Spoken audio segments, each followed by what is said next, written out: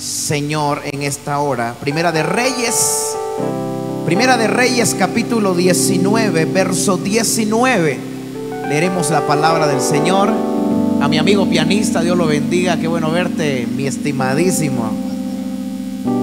Primera de Reyes capítulo 19, verso 19. Cuando usted lo encuentre, chavijamen, cachalal.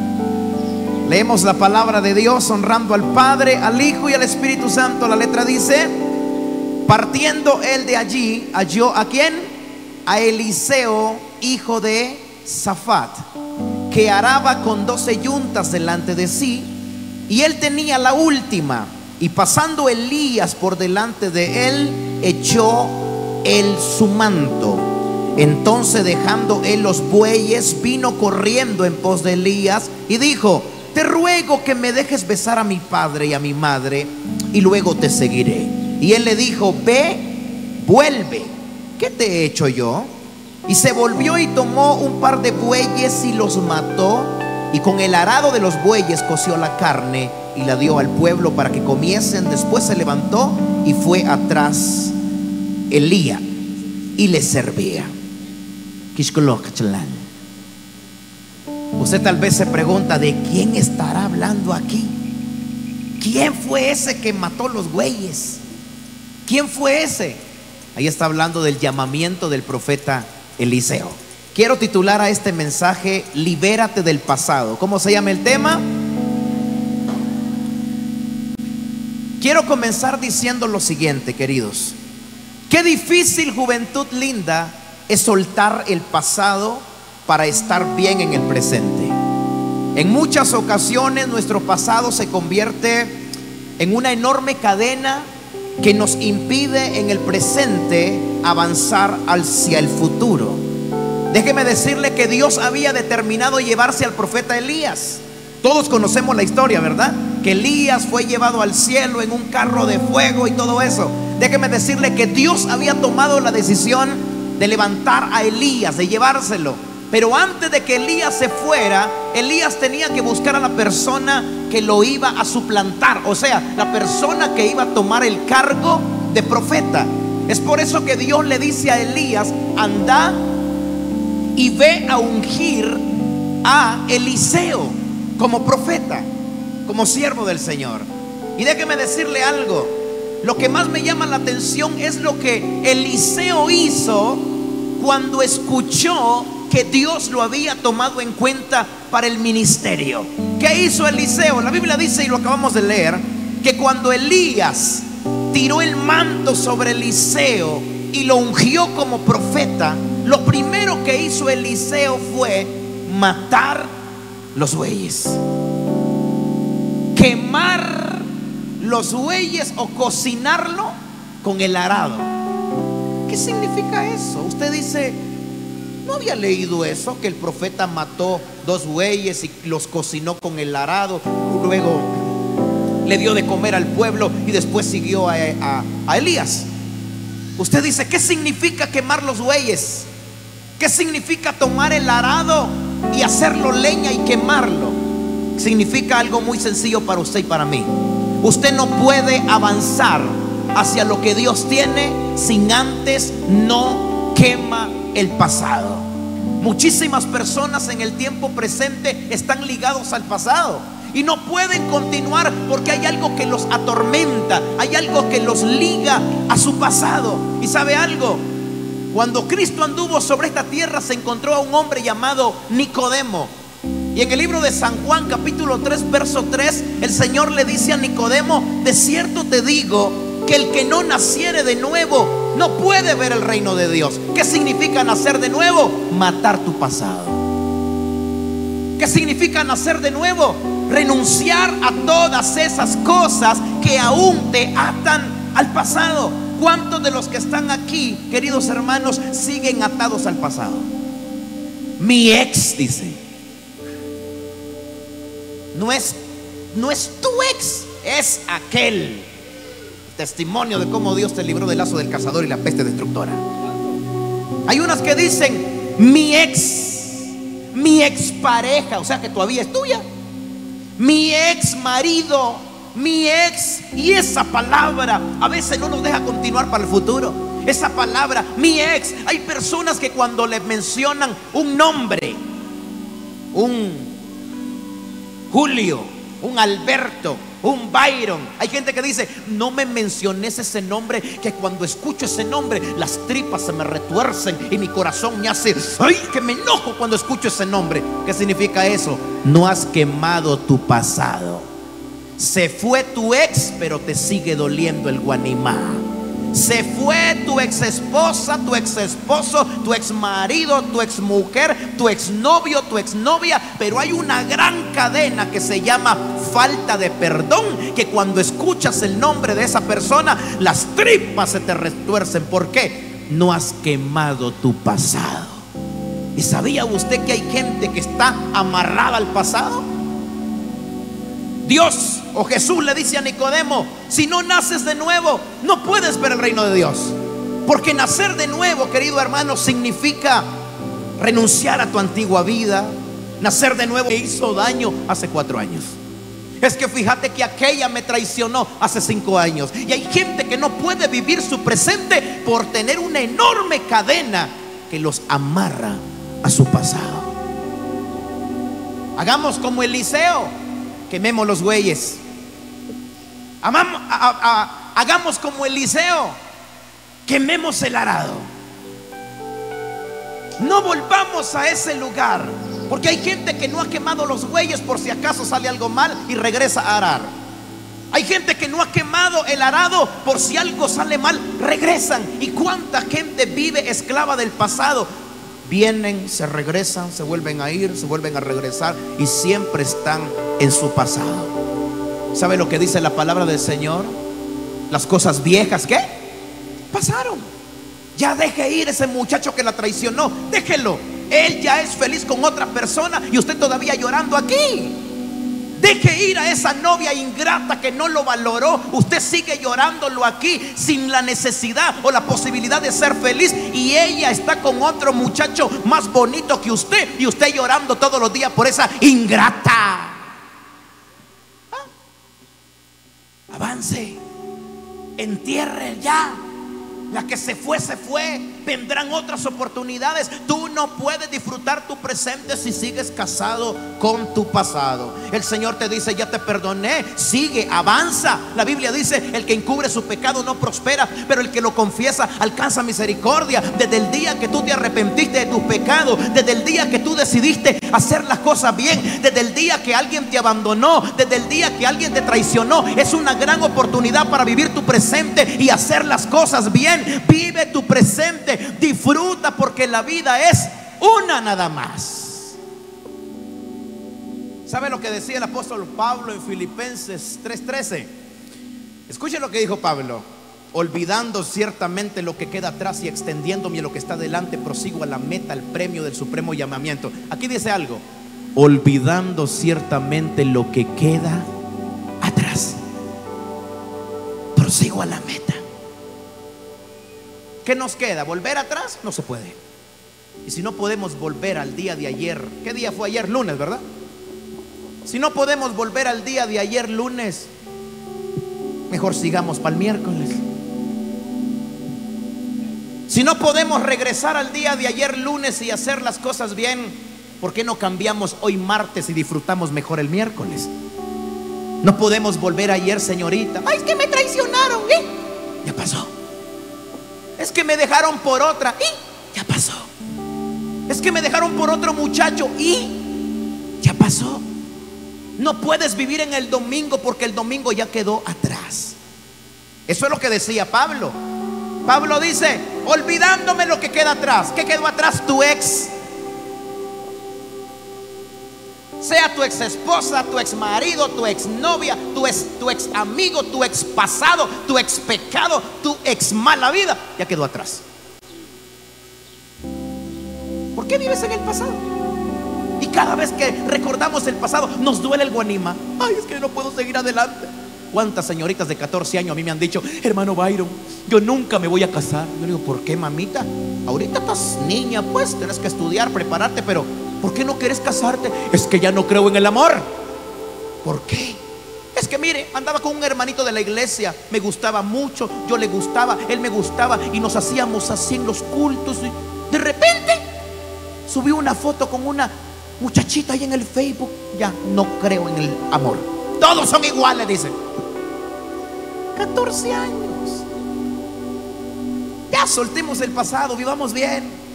La vida es una, hay que vivirla. Yo no puedo regresar al 2006 cuando me equivoqué. No puedo regresar al 2010 cuando fracasé. ¿Qué me queda? Vivir con eso superar mi pasado, caminar en el presente, disfrutar el mañana, perdonarme a mí mismo, perdonar mi pasado, perdonar a los que me ofendieron, porque si yo no perdono mi pasado, nunca voy a poder cortar con esa cadena de culpabilidad que después de 15 años me sigue amarrando a mi pasado. El pasado quedó atrás, Cristo lo perdonó, somos nueva criatura en Cristo, punto. Disfrute, avance, crezca, viva. Eso nos queda. Ya no podemos volver al día de ayer. Ya no. Los que nos maltrataron ya no se puede volver al pasado. Los que nos traicionaron, los que nos ofendieron. Por eso Pablo dice, olvido lo que queda atrás. Me extiendo lo que está delante. Punto número dos. Voy rápido porque ya me quedan 16 minutos nada más. Qué bárbaro. A las 12 vamos a terminar, me dijeron. Así que Estoy tratando de la manera de llenar todo lo que tengo que hacer acá. Punto número dos. No permitas que las personas usen tu pasado para menospreciarte, para hacerte sentir mal. Recuerda que fuiste perdonado. Primera de San Juan capítulo 2 verso 12 dice, os escribo a vosotros hijitos, porque vuestros pecados han sido perdonados por su nombre. Y yo quiero que Chitampe, Chalán, Ali y Alá quiero que escuche esto. Jesucristo te perdonó, pero la gente no. ¿Usted me entiende eso? Porque yo sé que usted lo ha pasado. Usted le pide perdón a Jesús hoy y tu nombre es escrito en el libro de la vida. Pero para la gente de afuera vas a seguir siendo el mismo pecador, el mismo fracasado, el mismo que traicionaron o que traicionó, el mismo de siempre. Y yo tengo que decirte que tienes que aprender a vivir con el perdón de Dios y con la desaprobación de la gente. Escuchen lo que dice. Les escribo a ustedes, hijitos, porque sus pecados ya han sido perdonados. La gente le prestará la lengua al diablo para condenarte, para juzgarte, para ponerte en mal eso no lo podemos cambiar. No se puede cambiar. En el cielo Dios te perdona, pero en la tierra la gente sigue hablando mal de usted. En el cielo Dios perdona, pero en la tierra la gente va a seguir diciendo, mm, sabía que aquella traicionó al esposo. Sabía que aquel dejó a su mujer por otra. Sabías que aquel es así, así, así, así, así. Sabía que aquel... Dios te perdonó, pero la gente le seguirá prestando la lengua al diablo para estorbarte, para desviarte de tu propósito, para robarte la paz, para robarte la vida, hay gente que ya no quiere vivir y está muerta en vida porque desean irse de esta tierra. Hay gente que desea tirarse de un puente. Hay gente que desea, queridos hermanos, tomarse una pastilla para curar frijol. Hay gente que desea exterminarse. ¿Por qué? Porque ya perdieron el sentido de la existencia y se les olvidó que sus pecados ya fueron perdonados. Ya no eres lo que la gente dice, querida, querido. Eres lo que Dios dice. Y qué hermoso es cuando nosotros dejamos de escuchar lo que la gente dice y comenzamos a escuchar lo que Dios dice. Usted que ha salido del alcoholismo, ¿qué dice la gente? Aquel era un gran borracho. Sigue hablando mal de usted la gente. Usted que salió del pecado, la gente sigue diciendo lo mismo, pero la pregunta es, ¿qué dice Dios de nosotros? Escuche esto, ya no eres lo que la gente dice que sos. Eres lo que Dios dice que eres. Hermano Byron, ¿y qué dice Dios que soy? Primera de Pedro 2.9 dice, mas vosotros sois linaje escogido. Ay, qué bárbaro. real sacerdocio, nación santa, pueblo adquirido por Dios. Cuando la gente de allá afuera quiera menospreciarte, mírate en el espejo y repítelo. Soy real sacerdocio. Soy nación santa. Soy pueblo adquirido por Dios. Porque la gente va a seguir hablando mal de ti. A mí me encantaría que la gente hablara bien de mí, pero incluso de mí no hablan bien. Y eso que supongo que predico la palabra sana doctrina. Hay gente que va a hablar mal de usted. Y siempre lo van a hacer, hermano Byron, y es que ya no quiero seguir porque la gente habla mal de mí. Consuélese con lo que dice la palabra. Usted es real sacerdocio, señorita joven. Que fallaste ayer. Todos hemos fallado. Byron tiene un pasado, Minor tiene un pasado. Todos tenemos un pasado. Todos. No estamos aquí porque seamos los más santos de la iglesia. No estamos aquí porque, ah, se merece estar ahí porque es perfecto. No, mi hermano. Todos tenemos un pasado pero tenemos que aprender a vivir con ese pasado, no para avergonzarnos, sino como parte del testimonio de las cosas grandes que Dios ha hecho en nuestra vida. A mí no me avergüenza mi pasado. Cuando hay gente que me pregunta, vos Byron, y es cierto que así, así, así, yo le digo, es cierto, es cierto. ¿Por qué? Porque no me avergüenzo de lo que Dios ha hecho en mi vida. Estamos aquí no por buenos, sino por la misericordia de Dios que toma lo que no sirve, lo levanta lo usa, lo unja, lo perdona. Y eso ha hecho Dios con usted. Ya no viva una vida de culpabilidad, señorita. Perdónese. Si ya Jesús te perdonó, ¿por qué tú no te perdonas? Es que yo me equivoqué. ¿Y? Es que yo le fallé a Dios. ¿Y? Arrepiéntete, apártate del pecado y sigue avanzando. Los planes de Dios para contigo no han cambiado porque Dios no se equivoca. Él al que llama es porque Él sabe que vas a dar la talla. Dios no se equivoca. No te tiene aquí por una casualidad, te tiene aquí con un propósito.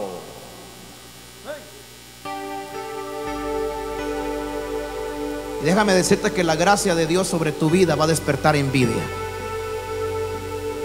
La gracia de Dios sobre tu vida va a despertar la envidia de mucha gente. Porque hay personas que dicen, pero si yo conozco a aquel, no debería de estar predicando. Yo conozco a aquel, no debería ser diácono. Yo conozco a aquella, no debería ser solista. Hizo esto y esto y esto y esto, esto. Yo conozco a aquel, no debería de ser músico porque así, así, así, así. Su vida es así, así, así, así. Pero déjeme decirle que la gente no conoce el corazón, Dios sí lo conoce. La gente no sabe que tú te arrepentiste y te apartaste de tu pecado, pero Dios sí sabe.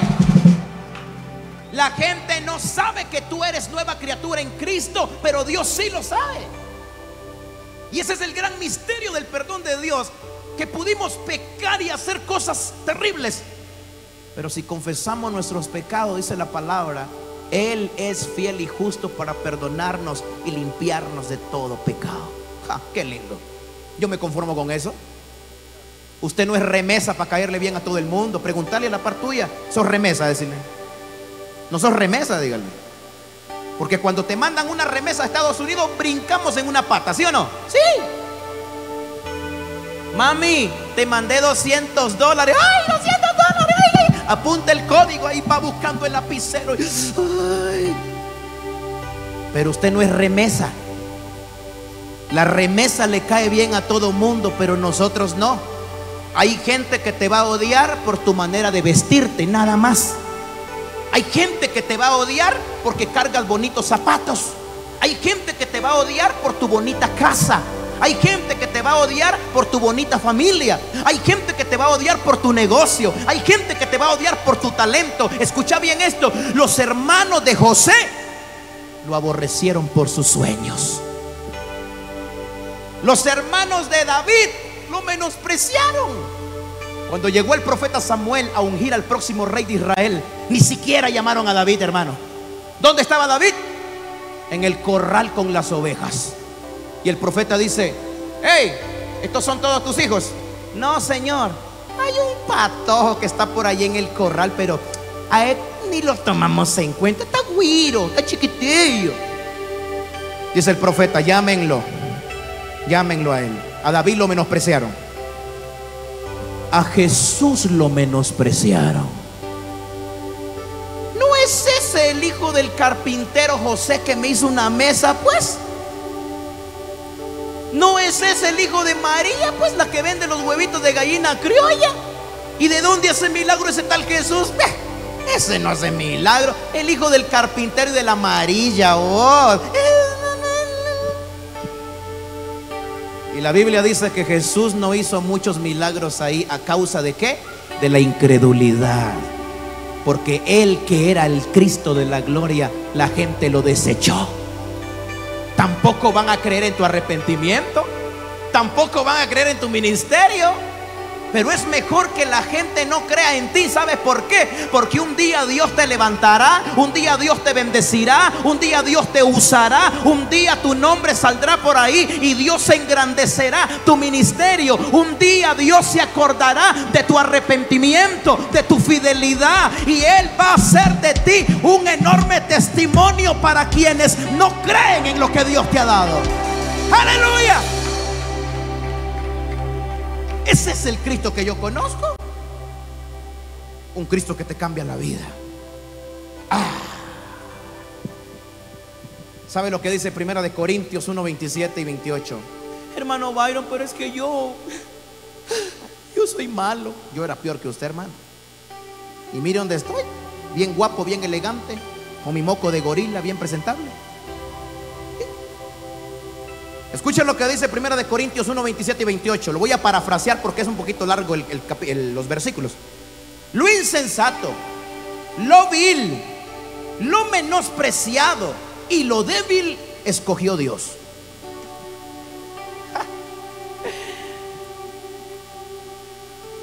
Hermano Byron, si usted me hubiera conocido a mí como era yo antes, si usted me hubiera conocido a mí, se asusta, hermano.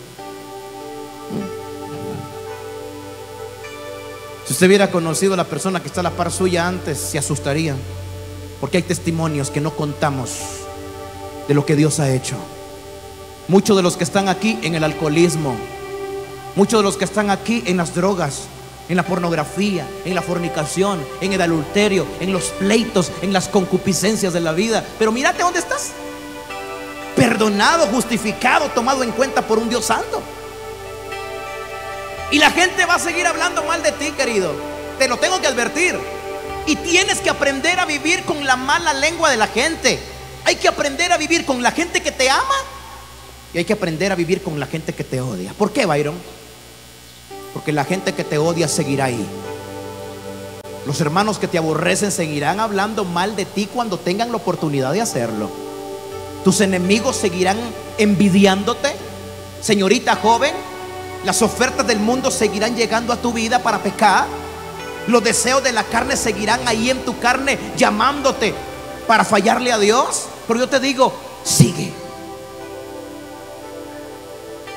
Avanza. No te quedes ahí donde estás. Crece. Hermano Byron, yo quiero ser solista, pero me equivoqué en el pasado. ¿Y?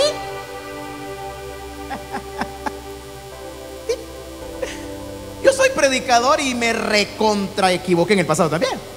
Y metí las cuatro patas. Usted metió dos, yo metí cuatro. Y aquí estoy, mire. ¿Estoy aquí porque puedo? No. ¿Porque quiero? Tampoco. ¿Porque me lo merezco? No. Porque a Dios se le dio y se le regaló la antojada gana de tomarme en cuenta y aquí estoy yo con todo y mi pasado. Aquí estoy siendo de bendición para usted y para el que quiera dejarse bendecir. Haga usted lo mismo.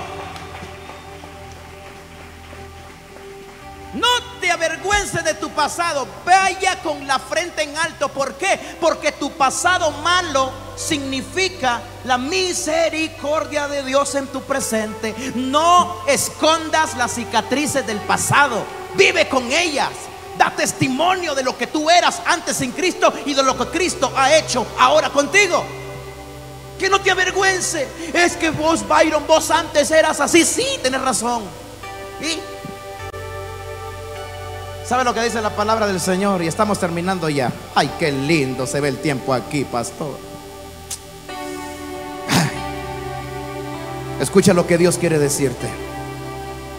Isaías 41, 9. Y yo te lo voy a leer muy despacio en los tres minutos que me quedan. Te lo voy a leer bien despacio. Isaías 41, 9.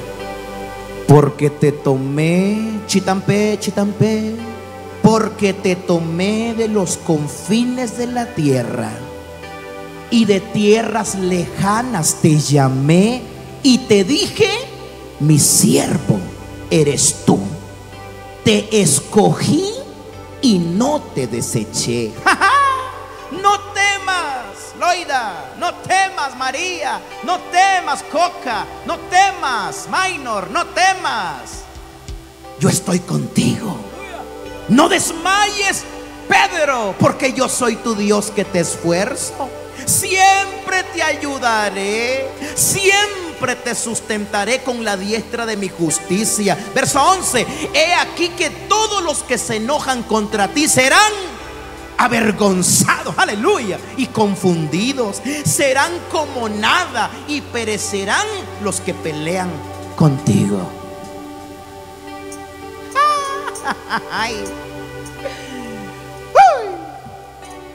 No se alegra que usted, que Dios lo ha levantado. No se alegra usted que Dios pelea por usted. No se alegra que la Biblia dice que la gente que pelea contigo será avergonzada. Aleluya. ¿Qué nos queda entonces? Disfrutar. Así como Jesús le dijo a aquella mujer, no temas hija, tus pecados han sido perdonados. Pero vete en paz, pero no peques más. Qué lindo, ¿eh? perdonados. Hay gente que va a decir, es que aquel no se merece. Y tienen razón. Se llama misericordia de Dios. Dios bendiga su palabra. Dios le bendiga a usted por su paciencia. Chía aplausos a la presencia del Señor.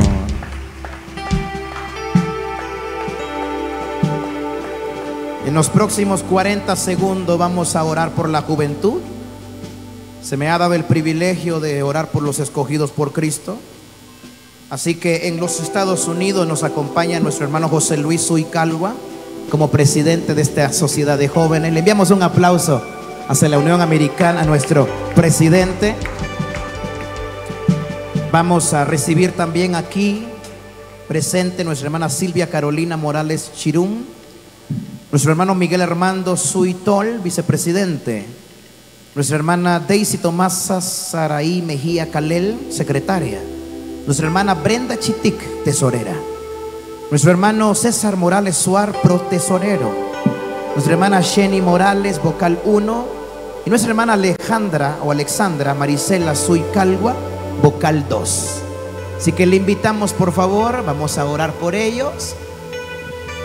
Vamos a pedir la bendición de Dios. He visto llorar, he visto sufrir muchas veces. Le estoy quitando el repertorio al pero en la noche lo cantas.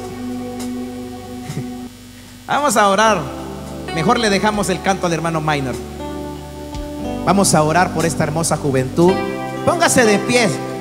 ¿Cómo se dice? Pónganse de pie en quiché, pastor.